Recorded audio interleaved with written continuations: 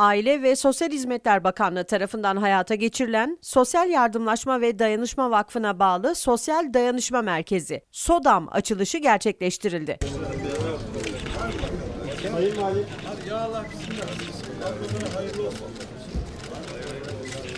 Açılışa Vali Muammer Erol, Milletvekili Ahmet Büyükgümüş ve Yalova Belediye Başkan Vekili Mustafa Tutuk başta olmak üzere protokol üyeleri katıldı.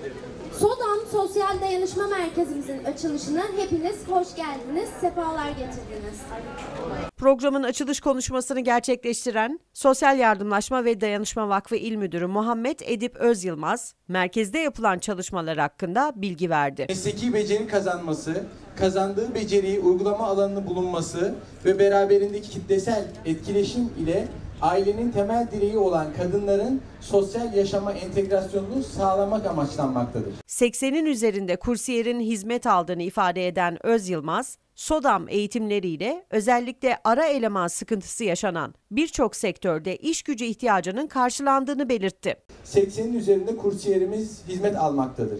Merkezimizin bir diğer önemli özelliği de kurslarımızı tamamlayarak sertifikalarını alan kadınlarımızın sektör temsilcileriyle bir araya gelerek kursiyerlerimize yönelik iş imkanlarını sağlamaktadır.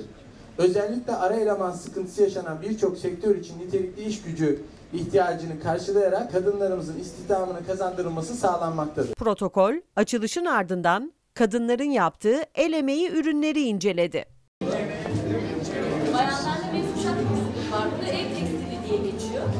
Ee, çoğunlukla işte e, kimimiz çeyiz hazırlıyoruz, kimimiz e, oğlunu evlendiren var, kimisi çalışmaya yönelik bir yapıyoruz.